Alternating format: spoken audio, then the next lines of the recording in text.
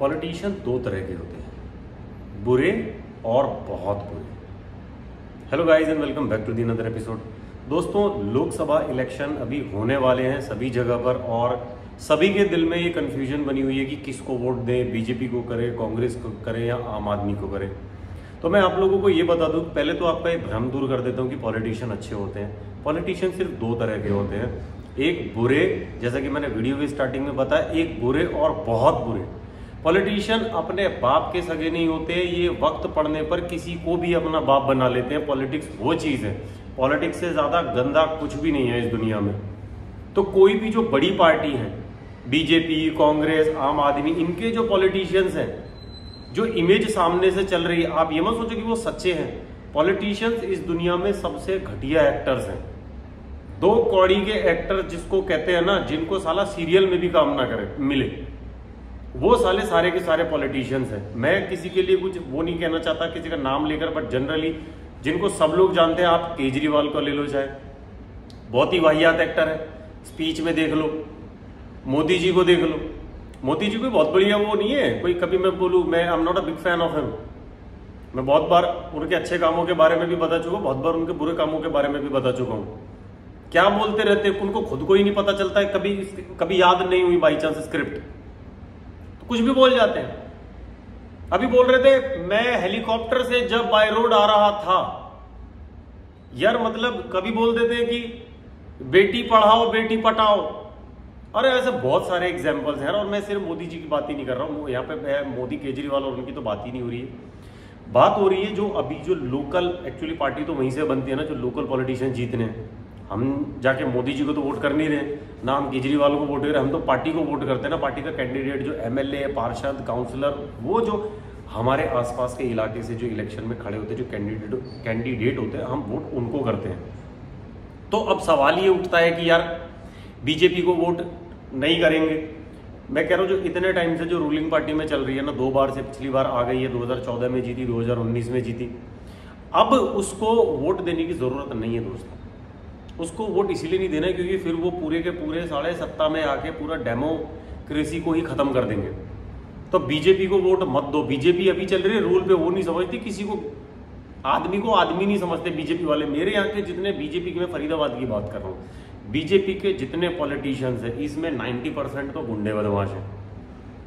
ठीक है, थोड़ा बहुत एक दो पॉलिटिशियन है, जैसे मैं नितिन गडकरी साहब का बहुत बड़ा फ़ैन हूँ। अब नितिन गडकरी साहब तो भाई सबसे तगड़ा जो काम किया वो नितिन गडकरी साहब ने किया है पूरे देश दुनिया में। लेकिन जो यहाँ के एमपी एमएलए जो भी बीजेपी के हैं, भाई, बहुत ज़्यादा नल्ले हैं। कोई काम धाम नहीं करते। किसी वो उनके ऊपर ही है वो डायलॉग कोई काम धाम नहीं। मज़े ही मज़े। एक बार बीजेपी के पॉलिटिशियन बन जाओ, उसके बाद कोई काम धाम नहीं। मज़े ही मज़े। कांग्रेस का भी पॉलिटिशियन जो भी यहाँ पे बिकट चोर। आम आदमी की पार्टी की तरफ़ से एक बंदे को टिकट मिली हुई वो भी बिगट चोर। अब देखो जो आदमी एमएलए की टिकट का मैं आपको रेट बता देता हूँ। रूलिंग पार्टी से अगर कोई बंदा एमएलए की टिकट ले रहा है तो वो कम से कम कम से कम आठ से दस करोड़ रुपए की एमएलए की टिकट है। दो से तीन करोड़ रुपए की पार्षद यानी कि काउंसलर की टिकट है। अब उससे नीचे अगर जैसे कांग्रेस पार्टी है ठीक है तो कांग्रेस पार्टी की अगर हम आ, कम से कम चार से पाँच करोड़ रुपए की तो उसकी भी एमएलए की सीट होगी। काउंसलर की अगर हम बात करें तो एक से दो करोड़ रुपए की काउंसलर की सीट होगी। तो भाई जब इतनी महँगी सीट ये लोग खरीदेंगे, फिर कैंपेन पे इतना लाखों रुपए, करोड़ों रुपए ये लोग लगाते हैं तो उसको ये लोग वसूल भी तो करते हैं और वो वसूल कैसे होता है? वो आम जनता के पैसे से वसूला जाता है। तो भाई बीजेपी और कांग्रेस को तो बिल्कुल ही काट दो। इसको तो वोट ही मत दो। अब आप कहोगे कि आम आदमी को पार्ट दे देते हैं। भाई आप कोई पार्टी देखो ही मत, मैं ये कह रहा हूँ। आप ना बीजेपी बीजेपी भी, बीजेपी की तरफ़ से तो सारे गुंडे, जो बंदा आपके यहाँ तगड़ा मतलब दो बार से तो बीजेपी का सेमी कैंडिडेट आएगा, जो दो बार से जीत रहा होगा, जहाँ पे बीजेपी रूलिंग पार्टी है, और जहाँ कांग्रेस रूलिंग में है तो कांग्रेस का भी सेम बंदा आएगा। आप ये देखो कि उन लोगों ने, भाई देखो थोड़ा सा होमवर्क तो करना पड़ेगा। मेरे वीडियो बनाने से खाली काम नहीं चलेगा। कुछ होमवर्क तो आपको भी करना पड़ेगा। आप ये देखो, आपके शहर ने कितनी तरक्की, उनकी देख रेख में करी है, उन लोगों ने कितने काम करे हैं। आप ये देखो, ये मत देखो हमारे यहाँ के छपरी कितने फ़ेमस हो गए हैं, या डोली चाय वाला ही सारा दिन चले ही जा रहा है इंस्टाग्राम पे, या वो वड़ा पाव गर्ल चले जा रही है सारा दिन इंस्टाग्राम पे, ये सब मत देखो। अगर स... वैसे तो आजकल जो जेंजी जो क्राउड है भाई, उनको तो मुझे लगता भी नहीं है कि उनको ये इलेक्शन की कोई फ़िक्र पड़ी भी है। मैं मिलेनियल्स की बात कर रहा हूँ, जो लोग सच में वोट डालने जाते हैं वोट देना अपना अधिकार समझते हैं, ये जेंजी तो मुझे लगता नहीं ये अभी वोट डालने जाने भी वाले हैं। ये नहीं जाने वाले जेंजी लोग वोट नहीं देंगे। ये थर्टी पार कर लेंगे, तब जाके ये लोग सोचेंगे कि हमें भी वोट देनी चाहिए। ये लोग नहीं देंगे। मेरी सारी audience almost twenty five twenty eight plus ही है। उससे नीचे का, क्योंकि मैं कंटेंट भी नहीं बनाता, मैं छपरी कंटेंट बना भी नहीं सकता भाई। मेरे बस की नहीं है। तो वो लोग मेरे वीडियो नहीं भी देखते, मुझे कोई फ़र्क भी नहीं पड़ता है। मैं उन लोगों की बात कर रहा हूँ, जो लोग थोड़ा बहुत देश के बारे में सोचते हैं, जो लोग थोड़ी बहुत अपने देश में कानून व्यवस्था ढंग की देखना चाहते हैं। तो थोड़ा बहुत होमवर्क आप लोगों को करना पड़ेगा। मैं तो बीजेपी जो, मैं अगर यहाँ कैंडिडेट का नाम नहीं ले सकता, मेरे यहाँ के जितने बीजेपी के कैंडिडेट है, भाई सब चोर चक्के हैं। किसी ने फरीदाबाद के लिए कोई कहा मैं कह रहा हूँ, जो ये लोग, इनको भी मैं बोलता हूँ, चलो अगर ये वहाँ तक ये मेरी वीडियो पहुँच भी जाए, अगर पॉलिटिशियन को देख भी ले। भाई आप आज की रेट में भी इतनी बाबा आदम के ज़माने की सौ साल पुरानी मार्केटिंग कर रहे हैं, ये बैंक जो जगह जगह अपने पोस्टर चिपका रहे हैं अबे डिजिटल मार्केटिंग का ज़माना है ये साले आदमी पोस्टर चिपका रहे हैं अपने। होर्डिंग्स लगवा रहे हैं अपने, हाथ जोड़ के ऐसे। और मैं सबको जानता हूँ, मैं तो लोकल ही हूँ भाई, मैं तो देखता हूँ, ये सब साले गुंडे बदमाश हैं। एक नंबर के आवारा लफंडर जितने भी है ना, सब हाथ जोड़े खड़े हैं। युवा नेता युवा नेता, काहे का युवा नेता है क्या करा है शहर के लिए युवा नेता बनने के अलावा बस खाली एक लेबल चिपका दिया, युवा नेता। कौन से युवा नेता? करा क्या है शहर के लिए? किसकी मदद करी आज तक? कौन, कितने केसेस उठाए, कितने गरीबों के लिए लड़े? बताओ ना, बस चार जगह भंडारा कर देना, सौ लोगों में पूरी छोले बांट दिया तो भले काम हो गए। इसको अच्छा काम कहते वैसे तो रोज करे फिर हम। और हम तो खैर कर भी रहे, आप जैसे लोग कर भी रहे होंगे, दुनिया भंडारे तो दुनिया कर रही है। यार, उसमें क्यों, कौन सा भला काम हो गया? देश हित की बात कर रहा हूँ। या से क्राइम कितना कम हुआ है? कूड़े करकट के ढेर लगे पड़े हैं यहाँ पे फरीदाबाद में। हर शहर में होगा गुड़गांव में भी होगा सोनीपत में होगा झज्जर में होगा हिसार में होगा सब जगह होगा।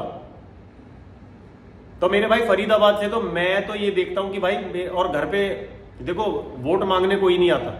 अब वो टाइम चला गया।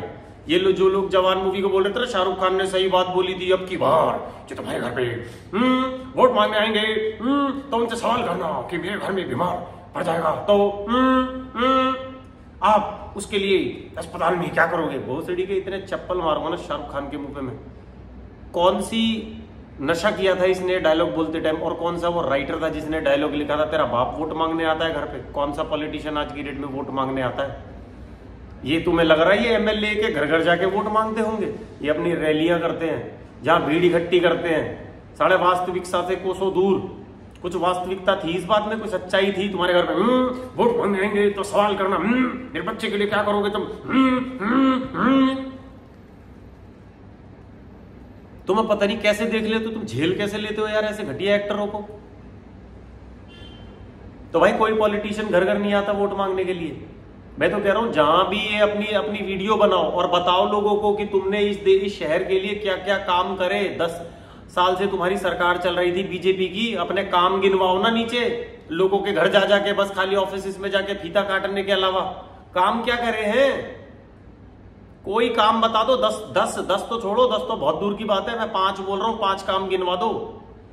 केजरीवाल ने एक एक बोतल शराब पे, एक एक पेटी पे buy one get one Delhi में चला दिया था। अरे, दूध की थैली पे चलाता ना, शराब पे क्यों चला रहा है? लॉकडाउन में, केजरीवाल ने भी कॉपी करा है। शुरुआत तो बीजेपी ने करी थी। लॉकडाउन के टाइम से देख रहा हूँ मैं।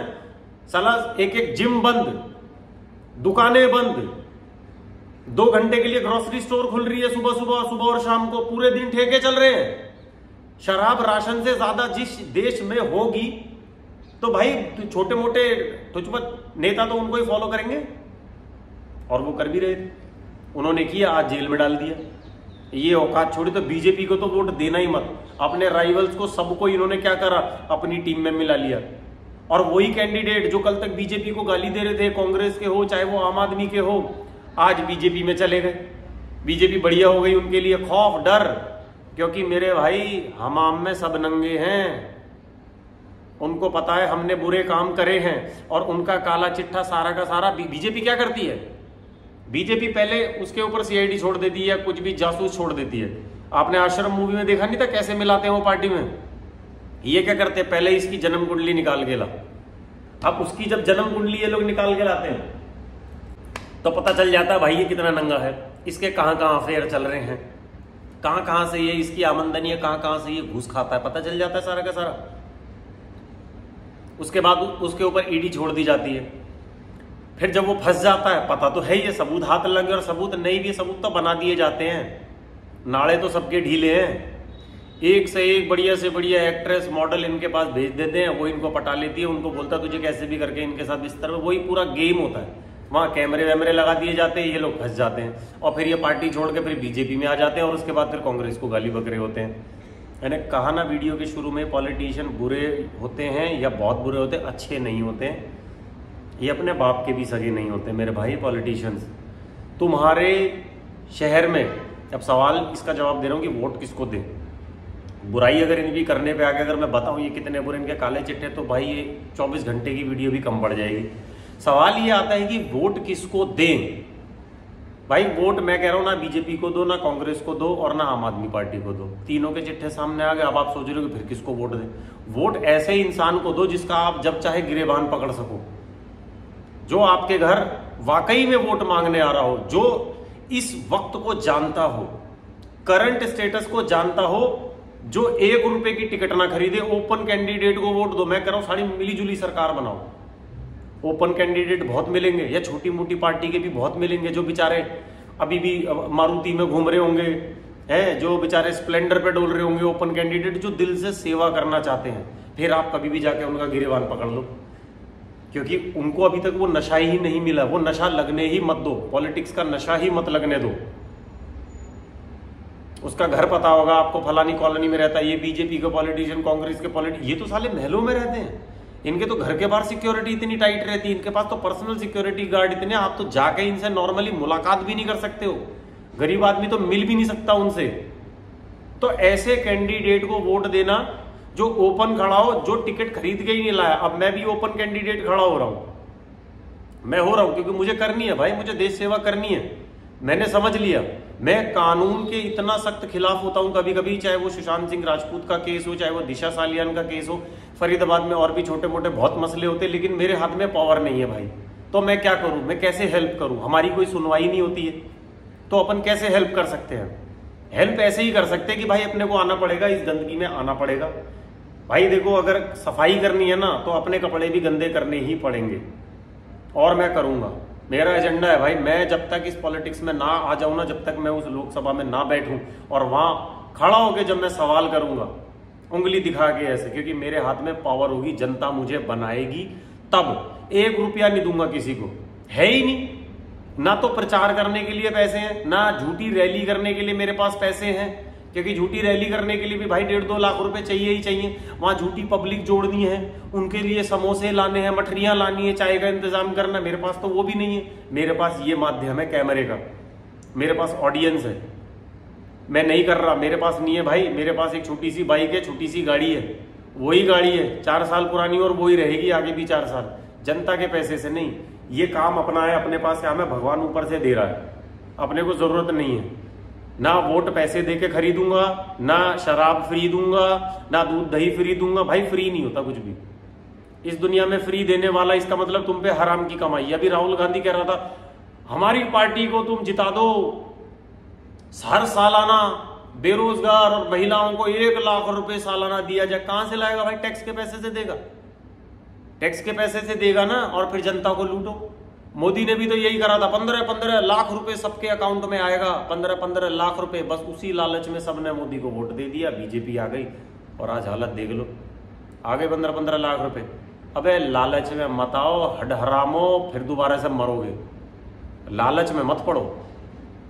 ये देखो तुम्हारे शहर का वाकई में कौन देख रेख करता मेरी गिरेवान तुम जब मर्ज़ी आके पकड़ लेना, नौ सौ बत्तीस में रहता हूँ, सेक्टर उन्नीस फरीदाबाद, ये जिम है।